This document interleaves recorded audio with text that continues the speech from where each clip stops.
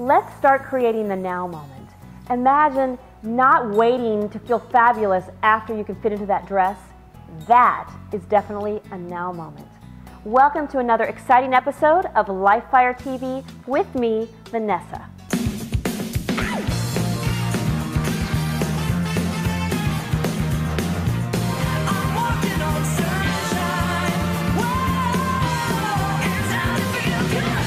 You know, so often when I'm working with a client or, or even you, you're amongst girlfriends, you're, you're, the, the conversation comes up that, oh my gosh, when I lose that five pounds, then I'll be happy. And then I will buy that amazing new outfit that I've been dying to buy. I'm asking you to rethink that, rewind that whole thinking of when I lose the weight, then I will buy that fabulous outfit, then I will feel fabulous, then I will feel happy. To creating the now I feel fabulous moment right now before you've lost one pound. And that can happen in a couple of different ways. The first thing is go and buy that awesome outfit that you've had your eye on that will make you feel fantastic today.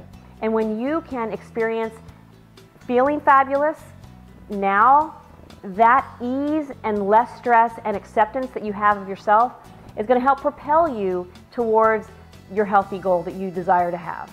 If you are constantly fighting yourself, I'll, reward myself after after I, you know, beat myself in submission and lose the weight. That creates stress in your body. That's not going to do anything to help you really reach your goal. And I can tell you, even if you get there, you're going to feel exhausted and not real happy about the process.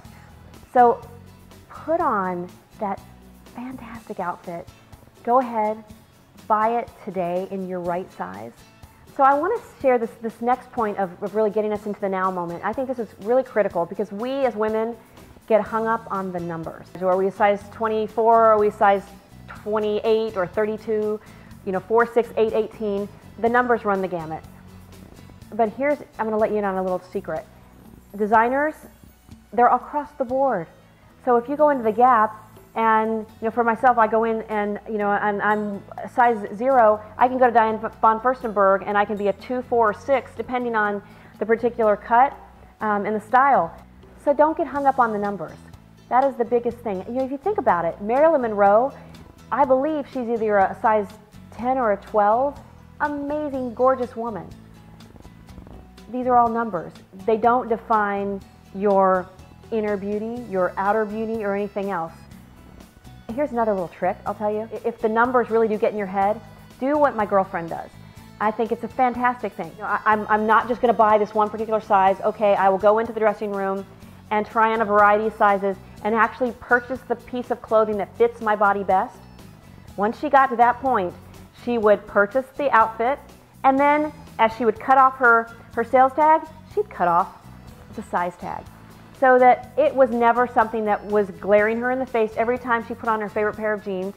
She didn't need to see what the size was because really it was irrelevant. The pants she put on made her feel fabulous. They fit her like they were supposed to fit.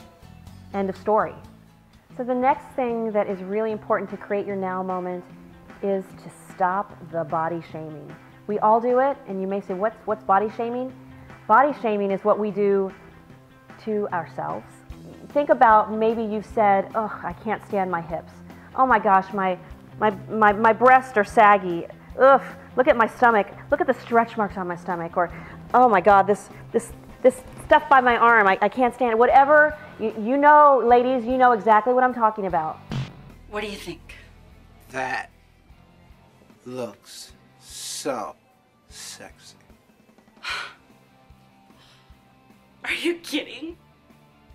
Hi, I'm Cellulite Sally. Look at my huge badonkey. Oh, and don't forget about me. I'm back fat Betty. Now, who could have said that? Oh, yeah, it's Tina the talking chummy. I can't even wear a short skirt and a top without looking like a fat pig. We are like vicious bullies to our own bodies. If we're going to live in a now moment, a, a moment of loving our bodies, that that mentality, that self beating has got to, to curb, has got to stop. Instead, when we look in the mirrors, we've got to look at, you know, look at all the beauty that is there. Start seeing and appreciating your body. And this really gets me to the next and final how to create a now moment. Please remember how much your body does for you. This amazing body is so powerful, powerful beyond measure, and we take that for granted every single day. You know, you think about, you know, for me, I think about my legs, and I, I give my legs so much gratitude because I get to run, I get to, I get to walk, I get from point A to point B effortlessly. I am so grateful and in love with my arms because I can hug my family. I can hug myself when I need a little self love.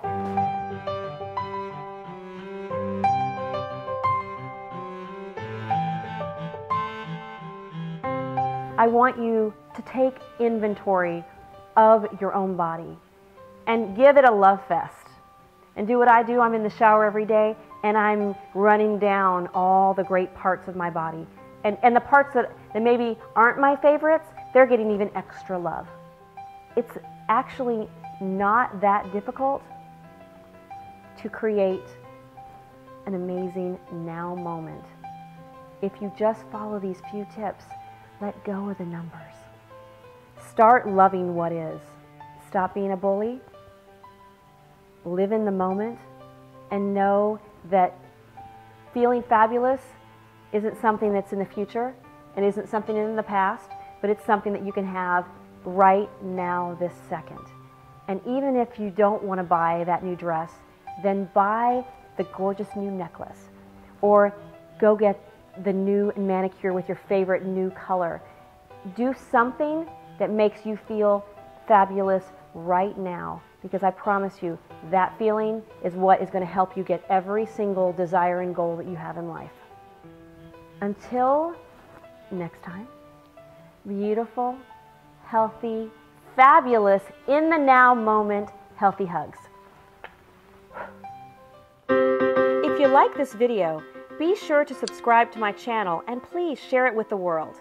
One more important thing, head on to vanessachamberlin.com and sign up for free updates so you can get the information and insights that I don't share anywhere else. And as always, leave your comments below to get this ball of discussion rolling.